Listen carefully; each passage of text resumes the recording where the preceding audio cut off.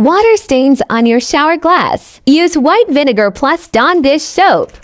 Scrub.